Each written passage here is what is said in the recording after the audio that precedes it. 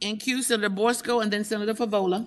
Thank you, Madam Chair. I just would point out that the silver line where this bill is proposed to be putting the casino is Class A, top, top real estate in the county. This is where the Fortune 500 companies have come to make their homes.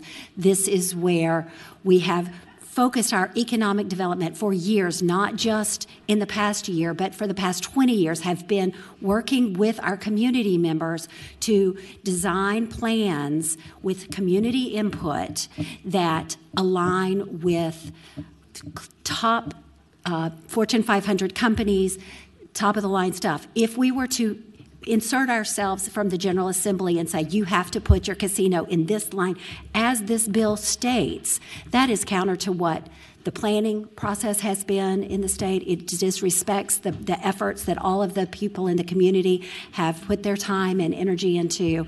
It is not something that I believe the Fortune 500s would like to have in the middle of their of their uh, community. If one of my colleagues would like to have a casino in their part of the county, they're welcome to bring a bill next year. Um, but if if the people in my community and in my colleague Senator Salim's community wanted it, they, we would have been carrying this bill, and we're not because we have heard all year long from last summer. I had a doctor come. I had a doctor's appointment when I, I was sick. He said, before he even asked me how I was, we don't want a casino in our community. This is not going to be good for us. We, we don't want it here. I ask that my colleagues re- respect the, the will of the, the, the neighbors that I have.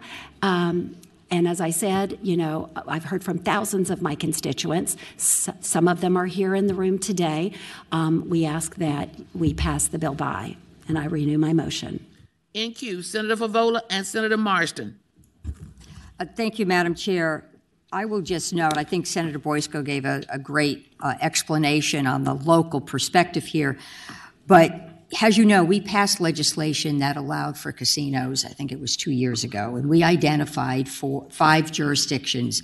And those jurisdictions wanted that economic bounce. They wanted to plan for it. They wanted the revenue that was going to come from it. And they asked the General Assembly to please include them in the legislation. And we laid out a framework in that legislation.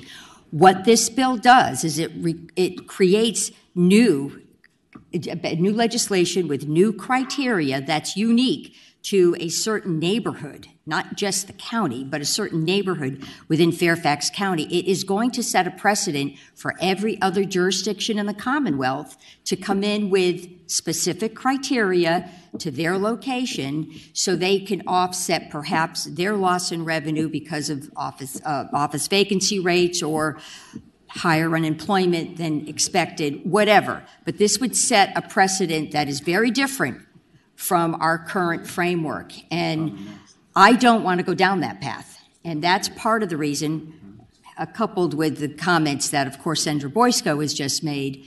That's one of the reasons, a big reason why I feel I have to vote no on this. And I, let me just say to those who are not completely familiar with our process, a vote to continue this is really a vote to, to, to put it off it would have to come back next year if the patron so chose.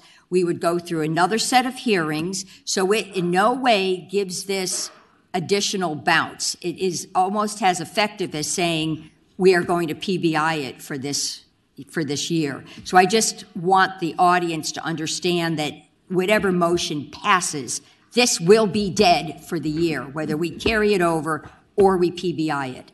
Thank you, Madam Chair.